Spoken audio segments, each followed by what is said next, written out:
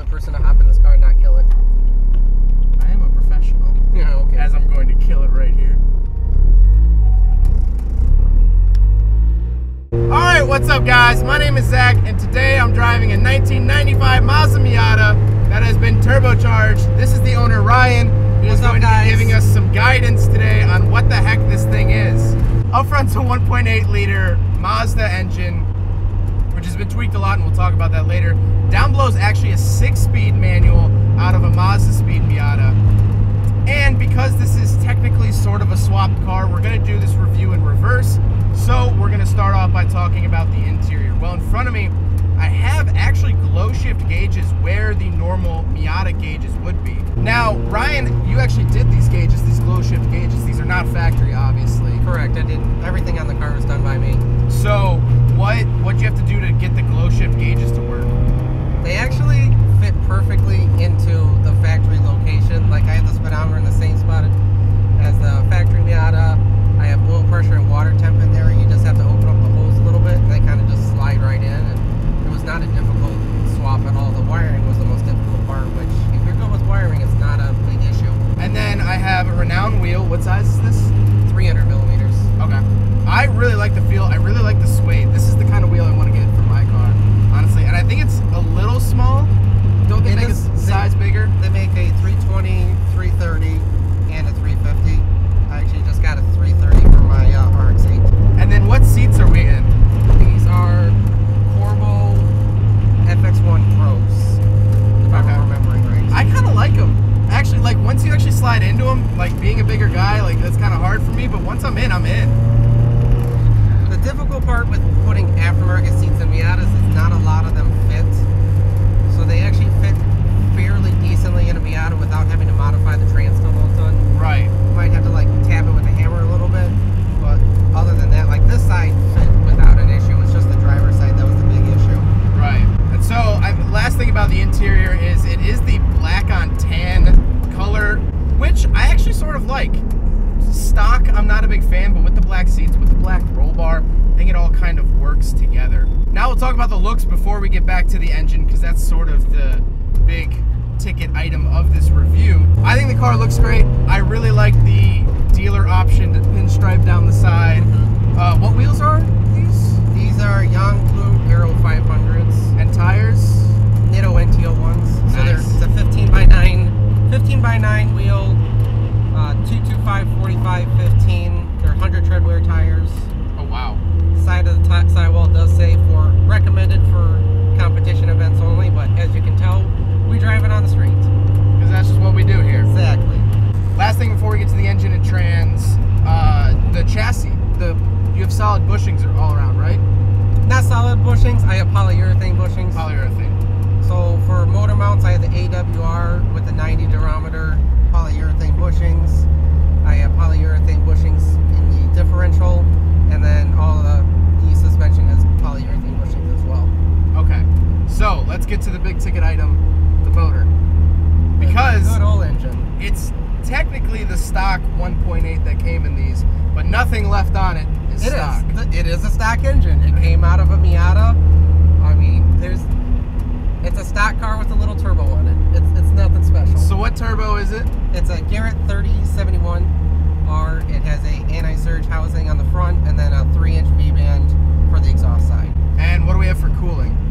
Cooling, I got just about everything you can do on for a 1.8.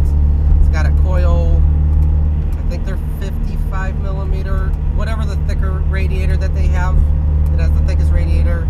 It's got the M-Tune coolant reroute on it.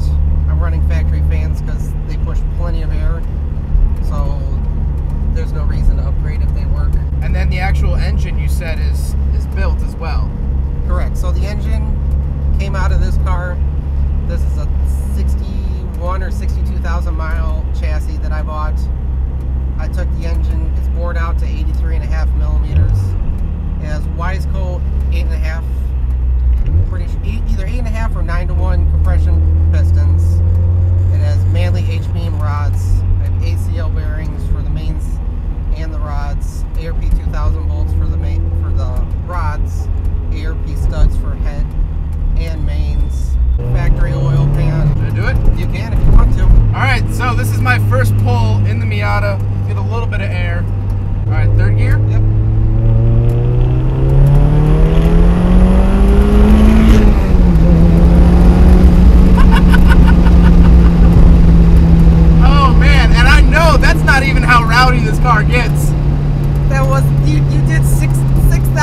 RPMs. The red got, line is at seven, is at 7,200, which is pretty conservative for these things, and he still's only doing 6,000 RPMs.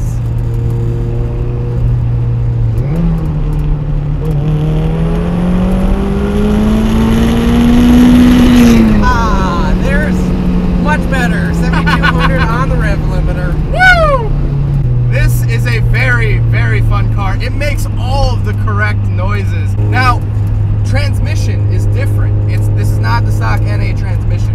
Correct. For the transmission, it has a 0405 Miata 6 speed in it. And then I also have an 0405 Mazdaspeed rear differential. And then the other really trick thing about the rear diff is it has a 363 the Australian rear gear in it, which is not terribly hard to find, but not easy to find. Right. It's that's not something you're gonna pick up at O'Reilly's. Correct. So it does make the car a lot easier to street because anybody who has a Miata, like they know they sit at really high RPMs, like at 80. At 80 miles an hour, they're usually like 3,800, 4,000, Yeah. and this car cruises at 90. I think it's like 3,700 RPMs. Okay. So like cruising with traffic, it's usually about 3,000 RPMs. You know, I like how it's not a huge surge of power.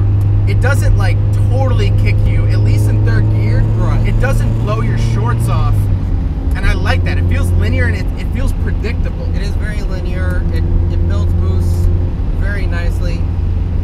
Probably, in fact, because I do have the smallest gear at 3071 on it, but also everything's ported and polished. So combustion chambers, intake and exhaust sides are both ported and polished.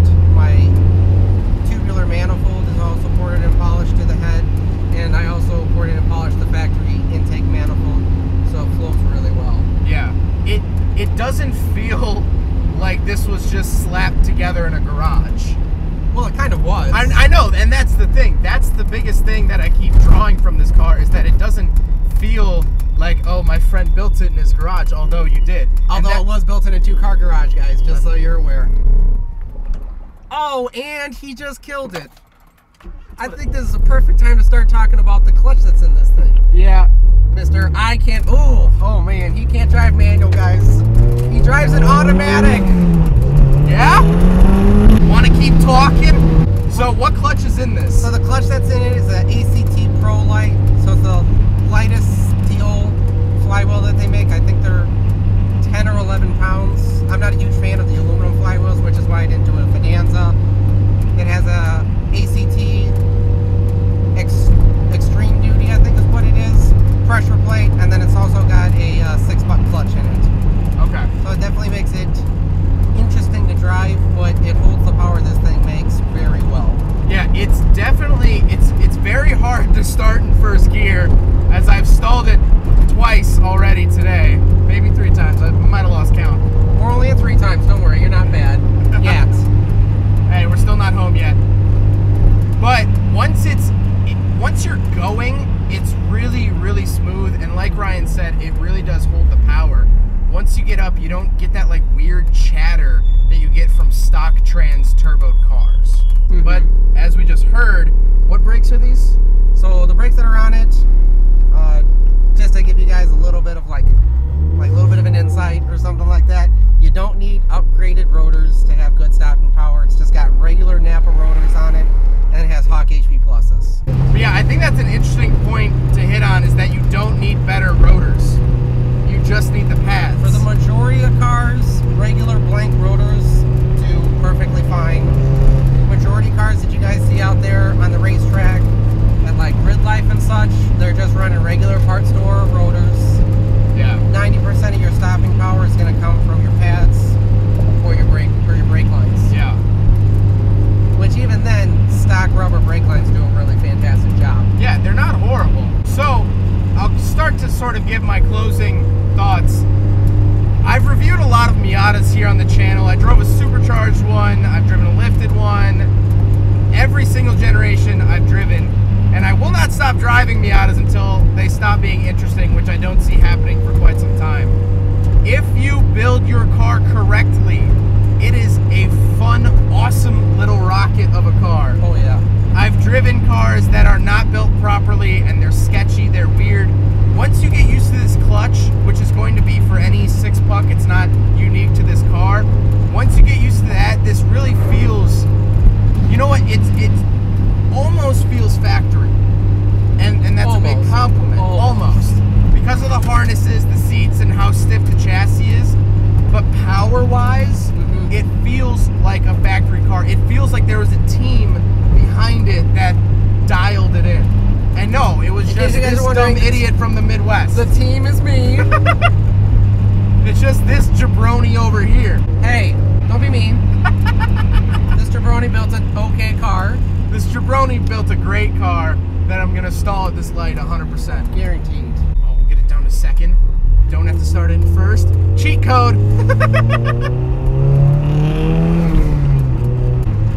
Built an okay car. It does pretty good.